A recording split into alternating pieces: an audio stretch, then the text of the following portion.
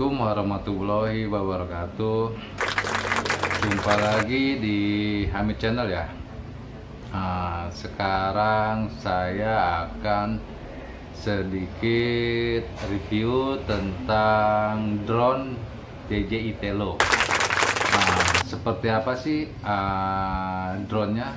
Oke, kita lihat seperti ini. Nah, ini drone ini. Ah aku dekatkan ya. Tuh. ah ini logo resmi garansi tam ya. Ah ini. Tulisannya juga ada seperti ini. Ini yang asli ya original. Ah ini juga kemasannya seperti ini. Ah terus di sini pun ada tulisan telonya. Terus di belakangnya pun ada ini barcode-nya segalanya. Ini barcode uh, barcode uh, originalnya. Nah ini speknya seperti ini. Uh, memang di luaran sana di apa shop ya kan itu ada yang jual drone DJI Telo tapi dia kemasan bungkusnya atau kotaknya tidak seperti ini. Ya jangan sampai salah ya. Memang harga lebih murah daripada ini. Kalau yang beredar sudah banyak itu memang benar drone-nya DJI Telo tapi kemasannya tidak ini. Ibarat uh, apa? DJI Telo drone-nya sejenis drone itu uh, bisa dikatakan uh, yang abal-abal ataupun KW makanya mereka menjual murah uh, harga kisaran dari sekitar 250 sampai 500 mentok. Jadi jangan salah beli ya. Untuk pecinta vlog uh, ataupun adventure untuk pemula ya untuk pemula. Kalau yang udah profesional sih mungkin mereka uh, lebih memilih DJI Mavic A2 gitu ya. Nah ini kita buka ya kita buka kemasannya. Nah ini. Nah kita buka kemasannya. Nah, nah kosong. Kosong ya kosong kosong ya. Pertama kita akan mendapat buku seperti ini. Nah kelihatannya di layarnya nah ini seperti ini. Nah nih. Terus kedua kita ada buku seperti ini. Nah, kita buka bongkar ya. Nah, tulisannya itu tulisan bahasa Inggris. Kurang paham aku bahasa Inggris. Nah ya nih. Tuh kita balik lagi seperti ini. Nah nih dia nih. Fokus ke kertasnya ya jangan ke fokus ke kecubungi ya. Tuh memang cakep sih kecubungi. Nanti kita review lagi kecubung ini dua apa dua-duanya. Nah, terus ada buku panduan juga. Nah, ini buku panduannya. Nah, tebalnya segini. Ini buku panduannya. Race ada tulisan race nah ini dia race kelihatannya nah, race nya ini nah, ini. Bagian tengahnya. Nah, bagian depannya seperti ini. Telo bagian belakangnya seperti ini. Telo. Ini race juga ya. Nah, lalu ada buku garansi time. Nah, DJI logo DJI nah ini tamnya nah ini pendaftaran MKG nah ini pendaftaran MKG ya yang ininya. Nah ini tamnya ini ininya lalu cover cover belakangnya seperti ini. Nah ini. Nah, cover belakangnya seperti ini. Terus untuk bagian dalamnya seperti ini. Nah ini. Ini belum di belum diisi ya uh, ya teman-temannya. Ini hanya untuk apa review aja. Nah biar kawan-kawan tahu yang mana drone DJI Telo original yang asli resmi garansi temnya seperti ini dia tetap ada buku garansinya seperti ini. Nah ini masih kosong ya tuh. Masih kosong. Nah, belakangnya pun seperti ini covernya. Nah, sampulnya seperti ini. Nah, terus untuk kelengkapan unitnya sendiri pertama ada baterai. Nah, baterainya pun original ya tuh. Nah, baterainya original seperti ini. Nah, terus unitnya nah seperti ini. Ya dia di bawah sini ada tulisan telo. Nah, kelihatannya. Nah ini telo. Untuk yang beredaran di pasaran di all shop all shop itu memang bentuknya seperti ini. Sama mirip benar. Tapi ada kekurangan dari uh, drone Digitelo yang abal-abal ataupun yang KW ya. Dia banyak kelemahannya. Nah, kalau ini barang-barang original nah ini barang original.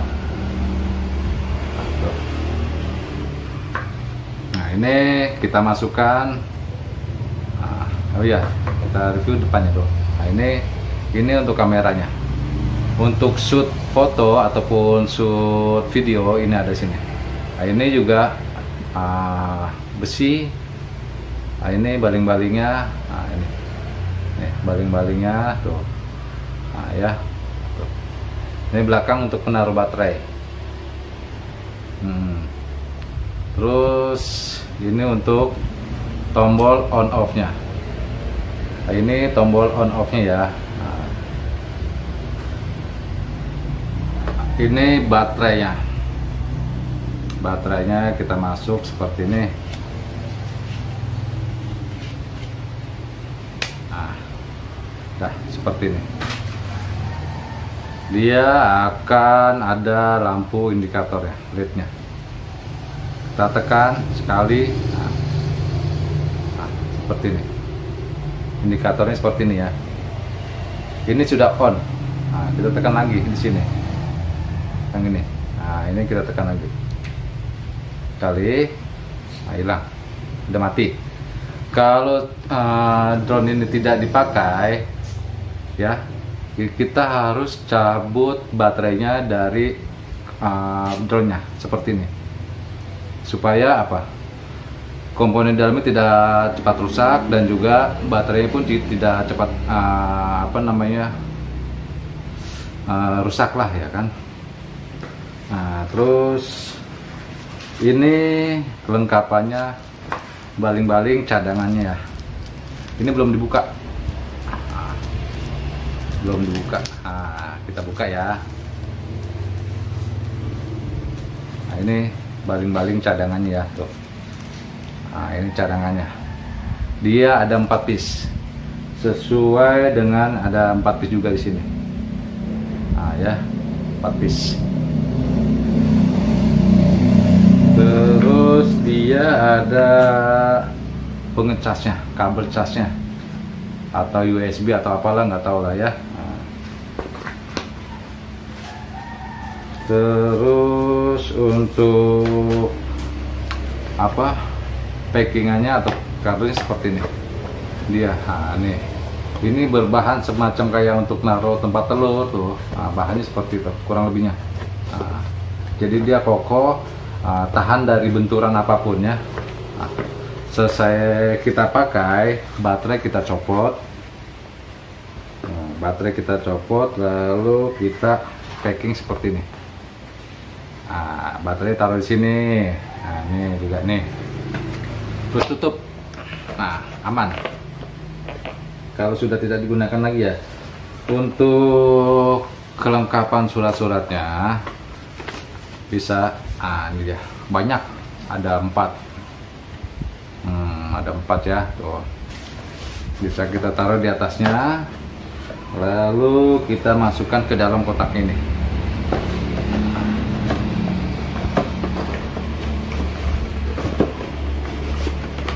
terus tutup lagi. Nah, masukkan lagi ya kawan-kawan. Nah, ini seperti ini sebentar ya. Nah, kita tutup rapat-rapat lagi. Nah, seperti ini. Hmm, kan rapat kan jadi untuk kebentur kayak gimana pun dia tetap tahan karena di dalam ini ada semacam kotak yang tadi tuh. Nah, seperti yang tadi kotak ini nih di sini ya. Nih. jadi kuat. Kalau untuk pemula drone ini uh, cocok. Saya pun cocok tapi kalau memang ada yang mau bayarin via channel ini boleh. Ini barang masih baru ya uh, digunakan hanya untuk review saja. Nah, ya. Ini belum ada yang rusak masih bagus. Oke lanjut ke review untuk batu kecubung ya. Pertama ini adalah warna siang malam. Dia dimensi kurang lebih 13 atau 14 tayangan nanti ada di sini nih ya. Nah, tayangan untuk outdoor fotonya pun ada di sini. Nah ini. Ini cakep. Uh, sudah ring perak. Nah, nanti uh, video detailnya setelah tayangan ini ya. Kita bisa saksikan selanjutnya. Terus untuk yang ini. Nah ini kecubung kuning emas. Warna aslinya dia memang kuning emas. Tidak tercampur oleh apa unsur dari kecubung teh makanya dia khusus kuning. Kalau kena cahaya memang dia ada macam kayak bias-bias hitam seperti ini ya. Tapi memang aslinya kuning. Kalau dipakai cantik. Ini untuk sementara kita gunakan ring alpaka super ya. Ah tuh. Nah, jadi saran aku nanti kalau teman-teman beli batu ini ring ini lebih baik segera diganti ikatannya dengan ring perak. Karena biar cakep plasternya. Oke hmm, terus ada juga kecubung biru laut. Kita buka ya. Nah kecubung biru laut ini masih loston nah, cantik. Batunya kristal. Nah, batunya kristal ya tuh. Cakep kan ah, iya iya kan? Keren kan? Ah, tuh aku dekatkan ya. Ah, maklum kameranya ah, resolusinya kurang maksimal jadi kadang buram kadang fokus. Hmm, ya, iya iya mantap kan? Keren dong. Ah, tuh. Nanti tayangan kecubung biru laut ini ada juga di sini ya. Nah saksikan terus jangan ke mana-mana. Nah, terus Oh iya, untuk yang baru singgah di channel ini, saya mengucapkan banyak-banyak terima kasih ya karena sudah ikut berpartisipasi untuk like, komen, dan juga apa uh, subscribe. Jangan lupa aktifkan lonceng notifikasinya ya, biar setiap kali saya upload teman-teman uh, langsung jadi orang pertama yang mengetahui saya upload ya. Selanjutnya masih ada video-video menarik juga dan juga ada tayangan yang menarik juga. Oke langsung ya kita saksikan tayangan berikut ini. Nah, ini berikut adalah tayangan dari kecubung kuning emas om ya. Dia aslinya ini uh, warna kuning emas om ya uh, tidak tertusuk oleh warna smoky. Kuningnya kuning cakep om. Nah, ini ring hanya apa? Ring alpaka super om ya. Untuk diameter batu estimasi dim 15 om ya. Nah, barang mumbul. Untuk kebersihannya lumayan om. Cakep om kebersihannya. Nah, batu kecubung ini kalau sudah naik ring cakep om. Tambah lasternya cakep Ya benar, uh, ini pakai mangkok kuning. Tapi ini tidak apa, tidak mempengaruhi dari warna asli batunya Om ya. Pada dasarnya batu kecubung emas ini memang warnanya kuning Om. Ditambah lagi mangkoknya mangkok kuning, wis tambah naik Om lasternya Om. Tuh. Nah, ini ringnya ring alpaka super Om ya. Tuh. Nah, dikasih karet ini karena ringnya kebesaran aku pakai nah, ini om tuh batin bersih alhamdulillah. Nah, jadi ini hanya ada satu ya om ya. Kalaupun ini terjual nanti insya Allah ada penggantinya lagi om ya. Kita cari dulu ah, sama yang tukang apa yang nyimpan batu lainnya om ya. Nah, cakep aslinya om. Ah, apalagi kalau sudah naik ring perak cakep ini om. Terus kalau naik ring emas wis. Kalau naik ring emas tambah cakep lagi nih om batunya nah ya mantap. Nah, aku dekatkan lagi nih om. tuh. Nah, aku goyang-goyang lah tuh. Nih tuh. Putar lagi sini ya om ya tuh. Ya. Nah, putar lagi sini om tuh. Ya kan? Cakep om? Cakep dong. Nah, oke om. Uh, dilanjut om ya ke tayangan berikutnya om ya. Nah ini kecubung biru laut om ya kondisi batu insya Allah bersih. Full kristal om ya. Ini aku miringkan. Nah terus aku miringkan. Batu natural om ya. Nah, nih. Kita miringkan lagi. Nah, nampak om ya? Nah, nah ini om tuh ya. Batu bersih uh, posisi videonya di outdoor om ya. Di terasnya om tuh. Ya nampak om ya. Nah tuh. Batu warna sih lumayan. Cakep warnanya. Ah tuh. Batu clean. Ah ini om tuh. Plaster pun oke. okay. Batu kecubung ini kalau belum naik kering perak dia memang kurang apa ya kurang beraura. Tapi kalau sudah naik kering perak auranya nambah om. Kurang lebih 30% sampai 50% om. Ya, beruntung sekali Om memiliki batu kecubung ini. Om ya. Nah, nanti saksikan tayangan berikutnya lagi Om ya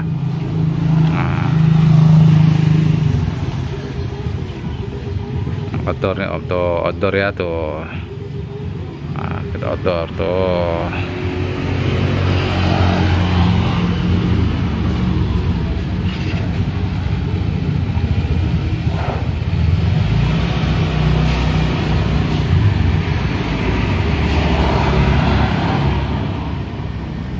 Nah, berikut adalah tayangan dari kecubung ungu ya. Dia warna aslinya sebenarnya tricolor om. Kalau kami bilang ini warna siang malam omnya. Yang aku maksud warna siang malam uh, apa?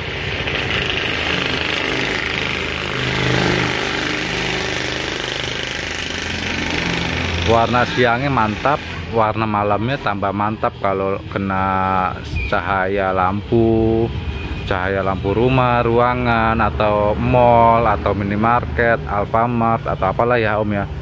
Nah, ini ini cantik Om tuh aku putar ya tuh. Ah, tuh. Batu lumayan bersih Om ya. Nah, ini aku bawa. Oh, bawa. Ini di outdoor Om ya. Tayangan videonya ya Om ya. Untuk karakter batu kecubung ungu ini ya kan? Dia urat warnanya cakep om. Nah, yang jelas ini memang natural om ya. Bisa dibuktikan untuk semua lab yang ada di Indonesia. Tapi tidak berlaku untuk lab yang abal-abal om ya. Ini apa aku rekomendasikan di lab ke GRI om ya. Nah,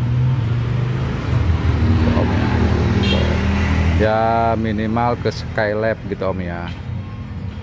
Nah, kan cakep om. Batu pun mumbul om tuh nah, size nya minimalis. Size kantoran. Ring udah perak om ya tuh.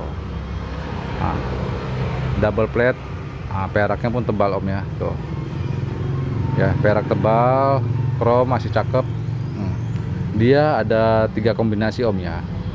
Chrome ini dilapisi dengan uh, chrome silver terus Dove terus chrome kombinasi kuning om ya. Nah, semakin tampil elegan lah om. Tambah ganteng lah pokoknya. Nah, om ya. Oke. Uh, sekian dulu ya om ya review dari kecubung uh, biru laut kecubung kuning emas dan kecubung ungu siang malam. Uh, siang malam itu ya termaksud apa namanya uh, ada warna kebiru-biruan gitu om nih tuh om ya. Dia ada tiga warna. Ya disebut tricolor. Bias biru bias ungu bias jingganya ada om tuh om tuh. Nah, ini om ya tuh kan cakep om. Nah kalau lagi post fotonya nah tuh. Oke om lanjut om ya